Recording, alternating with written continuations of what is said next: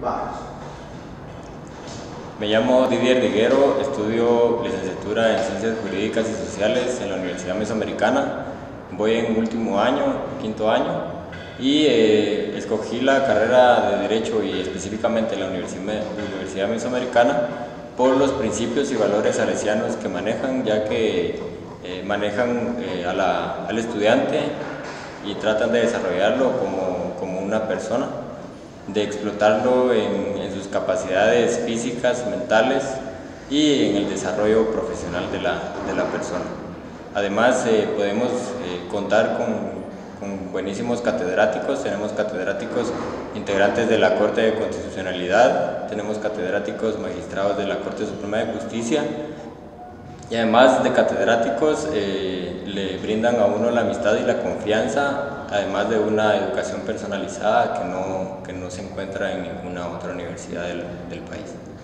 Por favor, háblame sobre la ubicación y sobre los horarios. ¿Cómo eso consideras que es positivo para, para tus intereses personales?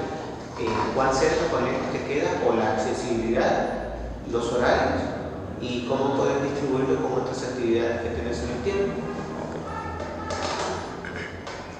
Con respecto a la ubicación de la universidad, pues es bastante accesible, queda bastante cerca eh, de, de, llegar, es fácil llegar desde cualquier punto. Con respecto a los horarios, pues tenemos eh, horarios bastante accesibles que nos dejan tiempo tanto para recrearnos y luego por la tarde eh, hacer otras asignaciones que tenemos. Eh, nos abre las puertas también a poder desarrollarnos en prácticas, eh, por ejemplo, en el organismo judicial, luego del horario de estudio por la mañana podemos ir a, hacer nuestras prácticas eh, de, las clases que tenemos, ¿verdad? Con respecto al presupuesto, pues es una, una mensualidad bastante accesible con respecto a otras universidades. Eh,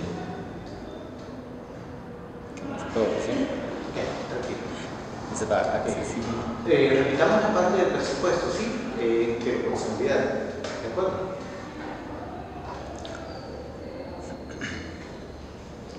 Con respecto al presupuesto, las cuotas mensuales son bastante accesibles. Eh, con respecto a otras universidades del país, no son cuotas tan elevadas y pues eh, es que no sé qué más agregar ahí. Okay. Ahora, eh, por favor, hacer una invitación a futuros estudiantes universitarios como para que se interesen y a, se inscriban acá.